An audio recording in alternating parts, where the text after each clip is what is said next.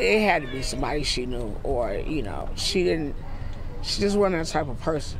Tears can't help but fall as candles burn in memory of 22 year old Zambrecia Works.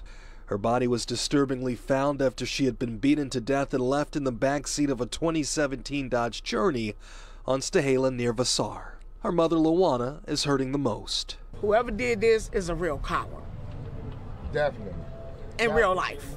Definitely. My my daughter only this big.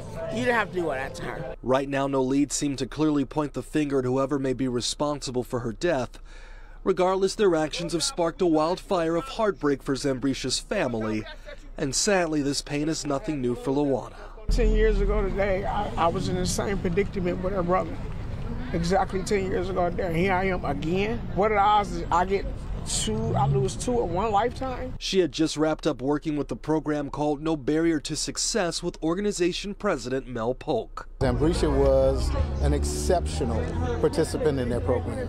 She's an exceptional young lady, beautiful young lady, smart, dedicated, on her way up the ladder. The driven young woman, more affectionately known as Breezy, had plans to be a doctor, but tragically, all that has now been taken away after only 22 short years here on Earth. She has such a big heart.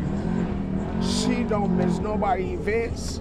She's there for everything. She got multiple careers. Her father, Paul, is confident that investigators will solve the case. He's gonna be caught. He's, he's probably gonna watch this. We're coming for you. He might be out here. We're coming for you. Your justice will be served because there's too much technology out here.